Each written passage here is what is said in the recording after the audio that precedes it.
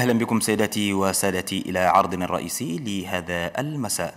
وقبل أن نبدأ النشرة نرحب بضيفة النشرة السيدة مريم جمعة عبيد عمدة بلدية أنجمينة والرئيسة الوطنية لجمعية بلديات تشيد.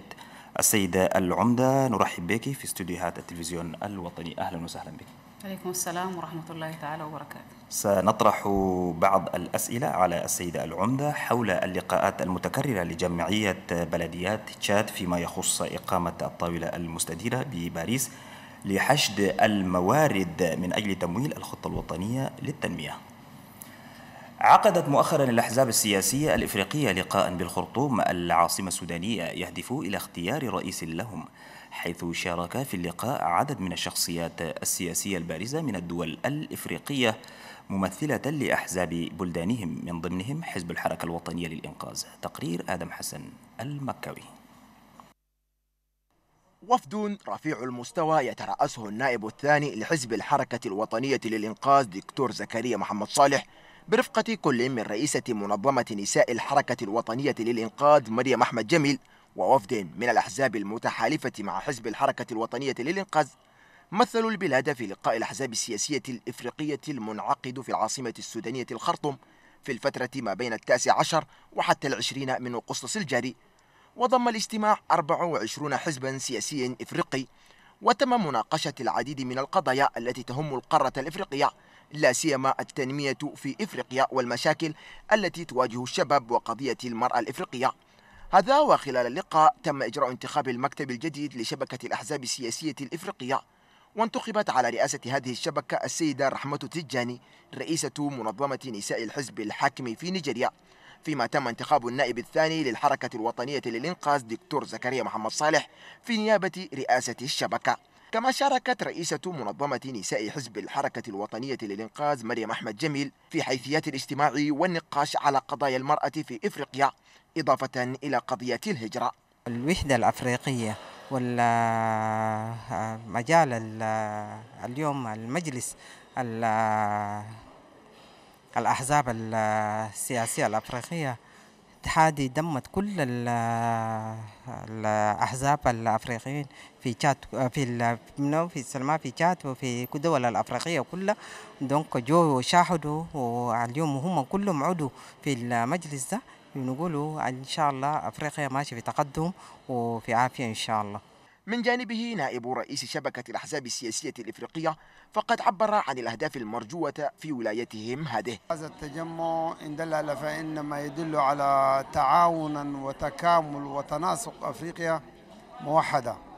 المرات التي صدرت اليوم إن دلت على شيء فإنما تدل على السعي لوحدة أفريقيا السعي للمشاكل التي تعاني منها أفريقيا السعي للاندماج السعي للتعايش من هنا للمستقبل ونحن في تشاد كحزب من ضمن الأركان بتاع قرارات اللجنة التنفيذية من ضمن الشباب طبعا أستضفنا أستضفنا الشباب مؤتمر الشباب في 2014 ومستعدين حسب سياسة الرئيس المؤسس للحركة الوطنية الجنرال إدريس ديبي. دعم الشباب ودعم المرأة والوقوف مع أفريقيا في جميع المجالات ومكافحة الإرهاب. لا شك بأن مثل هذه اللقاءات تعمق العمل الإفريقي الموحد من أجل تقليص القارة السمراء من الأعباء المتكدسة عليها. وإليكم هذا الخبر الذي وصلنا للتو, للتو حيث وصل رئيس الجمهورية إدريس ديبي إتنو إلى العاصمة الفرنسية باريس وذلك في زيارة عمل وصداقة. وسيشارك رئيس الجمهورية يوم غد في القمة التي تنعقد بباريس حول الأمن وقضايا الساعة. تقرير عائشة خليل. وصل بسلام الله وحفظه فخامة رئيس الجمهورية إدريس ديبي إتنو إلى العاصمة الفرنسية باريس ولدى وصوله كان في مقدمة مستقبليه السفير التشادي لدى باريس الدكتور أمين أبا الصديق وممثل اليونسكو السيد محمد صالح آدم جرو وعقب مناسبة الاستقبال الرسمي توجه فخامة رئيس الجمهورية إدريس ديبي إتنو إلى صالة كبار الشخصيات بأرض المطار. وبعدها توجه فخامة رئيس الجمهورية إدريس ديبي إتنو إلى صالون الضيافة بأرض المطار لأخذ استراحة قصيرة. ومن خلالها تباحث فخامة رئيس الجمهورية وجهات النظر في العديد من المواضيع التي تهم البلاد. هذا وقد رافق فخامة رئيس الجمهورية إدريس ديبي إتنو في هذه الزيارة وزير الشؤون الخارجية والتكامل الأفريقي حسين إبراهيم طه ووزير الدفاع بشار عيسى جاد الله ومدير المكتب المدني لفخامة رئيس الجمهورية السيد عيسى علي طاهر ومدير المكتب العسكري لرئيس الجمهورية محمد روزي. ونذكر بأن زيارة فخامة رئيس الجمهورية إدريس ديبي إتنو إلى فرنسا من أجل المشاركة يوم غد في القمة المنعقدة بشأن الأمن ومحاربة الهجرة الغير الشرعية بالعاصمة الفرنسية باريس.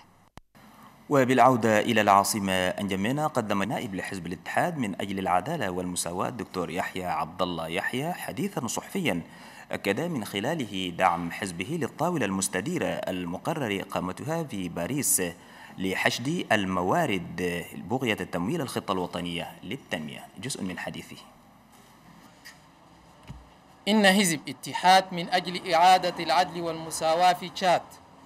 يساند فخامة رئيس الجمهورية إدريس ديبي إتنو والحكومة التشادية على مبادرتهم لتنظيم الطاولة المستديرة التي تقام في باريس والتي تساعد على حل الأزمة الاقتصادية التي تمر بها البلاد. وكما يدعو الحزب من جميع الشركاء الاقتصاديين داخل وخارج البلاد المساهمة على إنجاح هذه الطاولة من أجل رفاهية الشعب التشادي. فيما يخص الملتقى الوطني, الوطني لإصلاح مؤسسات الدولة فإن الحزب يؤيد مبادرة رئيس الجمهورية التي قام بها مؤخرا على إشراك جميع القوى الفاعلة في البلاد كما يطلب الحزب من بعض الأحزاب المترددة المشاركة في الملتقى والإدلاء برأيها.